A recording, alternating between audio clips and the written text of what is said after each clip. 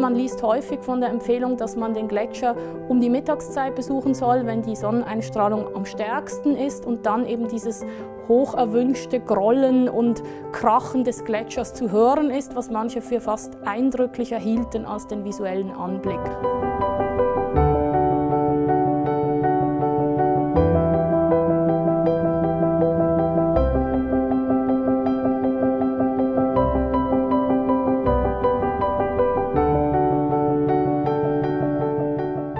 Die Gletscher werden bis Mitte dieses Jahrhunderts mehrheitlich verschwinden in der Schweiz, wegschmelzen. Nur die großen Gletscher, wie zum Beispiel der Aletsch-Gletscher, Rhone-Gletscher, werden das warme Klima überleben.